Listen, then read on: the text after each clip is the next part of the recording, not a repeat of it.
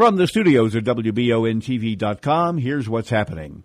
The Three Forks Regional Jail has been placed under quarantine after an inmate contracted pneumonia and meningitis.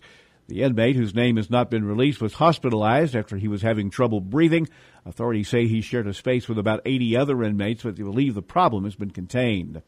WBON TV sat down with Madison County Judge Executive Reagan Taylor. He told us about the new Highway 627 interchange project happening at Exit 95.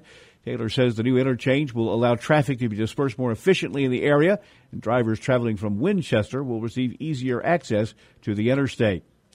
A day long standoff between a man and police in Lexington ended peacefully with an arrest. Police were called to a house to respond to a medical emergency. When they got there, they saw weapons, but the man inside refused to come out. Eventually, 40 year old David Carlin, a convicted felon, surrendered. He was charged with possession of firearms by a felon. Kentucky is responding to recent mass shootings around the nation. Yesterday, a bipartisan group of lawmakers in Frankfort introduced so-called red flag legislation that would allow authorities to keep firearms away or take them away from people who are deemed to be a threat to themselves or others.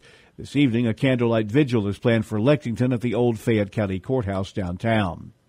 A Danville man was arrested after two toddlers in his care were found wandering in the street. 24 year old Jeremy Dunn told officers he fell asleep on the toilet. Social workers say the children were living in poor conditions. They've been placed with other family members. Dunn is charged with two counts of endangering the welfare of a minor. He was jailed in the Boyle County Detention Center. Vice President Pence is scheduled to visit Clay County today. He's holding an event at the EKU Manchester campus. It's not open to the public. Pence's visit will result in the closing of the Hal Rogers Parkway between London and Manchester for part of the day.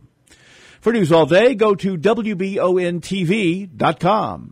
I'm Bill Clary.